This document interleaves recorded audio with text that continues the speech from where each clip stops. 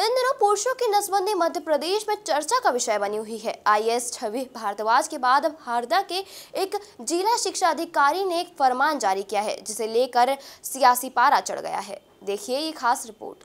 नसबंदी से जुड़े एक आदेश को लेकर एमपी का स्वास्थ्य विभाग पहले ही बैकफुट पर आ चुका है।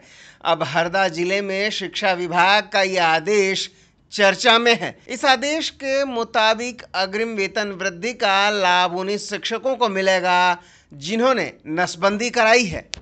इस आदेश में कहा गया है कि 16 जून 2006 के पहले परिवार नियोजन ऑपरेशन नसबंदी कराने वाले और इसके बाद नसबंदी कराने वाले अध्यापकों को अग्रिम वेतन वृद्धि का लाभ मिलेगा।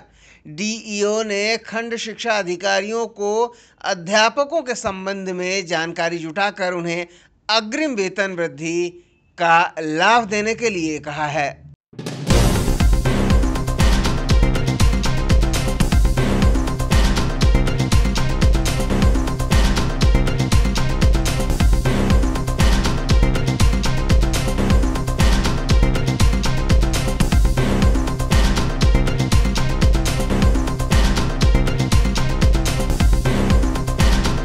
ये अध्यापक संवर्ग के जो हमारे साथी कर्मचारी अधिकारी हैं उनके लिए ये आदेश जारी किया गया है। इसमें निर्देश दिया गया है कि 16 छः 2006 के पहले जिन्होंने नसबंदी ऑपरेशन कराया है उनको ये लाभ 16 छः 2006 से और उसके बाद जिन लोगों ने ये कराया है उसको ऑपरेशन कराने के दिनांक से अग्रिम वेतन वृद्धि का लाभ दिए जाने का निर्देश दिया गया है। सर क्या इसमें महिला पुरुष दोनों महिला पुरुष दोनों जो हैं अध्यापक वो शामिल होंगे। सर जिन्होंने नहीं करवाया उन्हें? उनके लिए कोई लाभ की व्यवस्था नहीं है।